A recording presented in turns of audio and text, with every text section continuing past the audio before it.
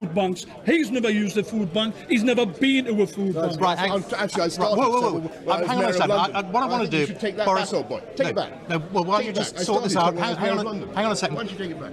I just want, I just want to hear. You just pointed in my face. I want to hear from.